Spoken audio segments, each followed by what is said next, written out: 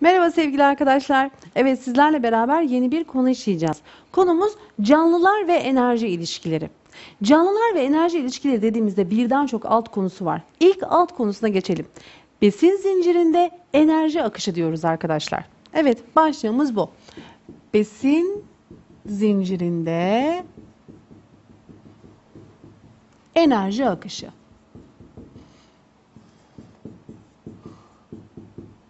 Şimdi sevgili arkadaşlar, önce besin zincirinin ne olduğunu bilelim.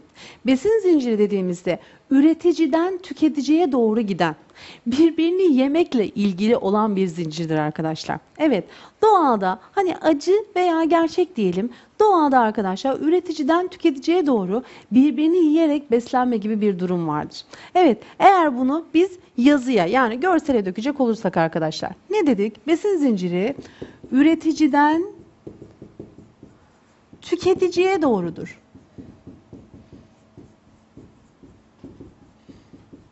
Arkadaşlar mesela bunu neyle örnek verebiliriz? Ot diyelim. Değil mi? Ot.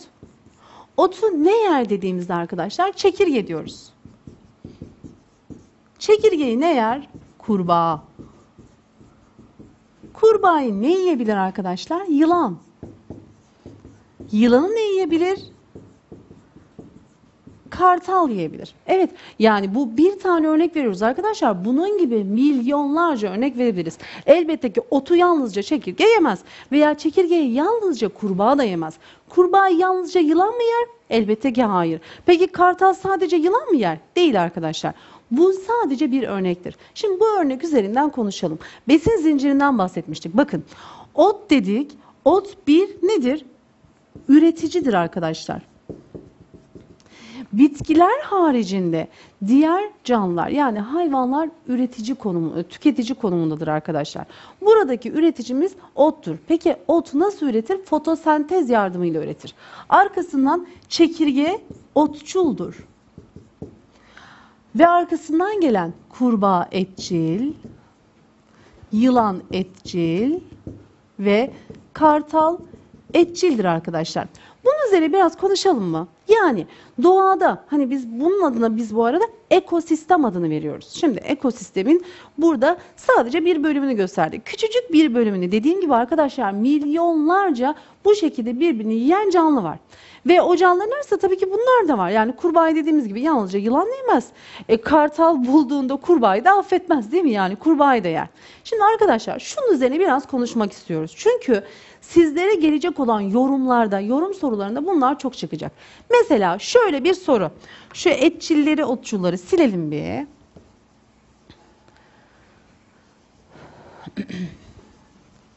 Arkadaşlar soruda size böyle bir sistem verildiğinde mesela sorumuz şu olsun. İnsanlar satmak amaçlı biliyorsunuz bazı ülkelerde kurbağa yeniliyor. Satmak amaçlı kurbağaları insanlar kurbağaları yok ettiğinde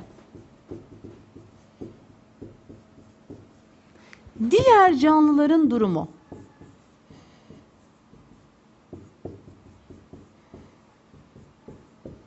Evet. İnsanlar kurbağaları yok ettiğini farz edelim. Diğer canlıların durumu. Arkadaşlar kurbağanın yok olduğunu farz edelim. Bakın sadece mantığınızı kullanın. Kurbağalar yok olursa kurbağanın yediği çekirgeler ne olur? Hop çoğalır. Evet diyorum ki çekirgeler çoğalır. Peki çekirgeler çoğalırsa arkadaşlar çekirgeler çoğalacağı için ne olur? Çekirge otu yediği için ot ne olur? Ot azalır. Tamam bu da oldu. Şimdi kurbağalar biz bu tarafını yaptık. Şimdi diğer tarafına bakalım arkadaşlar. Kurbağalar yok olursa şimdi uzun bir sistemden bahsediyoruz arkadaşlar. Hani böyle ya işte bu hafta bütün kurbağaları aldık tamam artık tamam bitti. Çekirge artık o her taraf çekirge olur. Değil arkadaşlar. Biz uzun vadede bir şeyden bahsediyoruz. Yani 5 yıl, 6 yıldan bahsediyoruz. Veya daha uzun vadeli. Bakın kurbağalar yok olduğunda yılanlar ne olacak arkadaşlar? Yılanların eğer temel besin maddesi kurbağalarsa yılanlar da azalacak. Evet, yılanlar azalacak arkadaşlar. Yılanlar azalacak. Peki yılanlar azaldığında kartalın temel besin maddesi yılansa eğer ne olacak? Kartallar da aç kalıp kartallar da azalabilecek.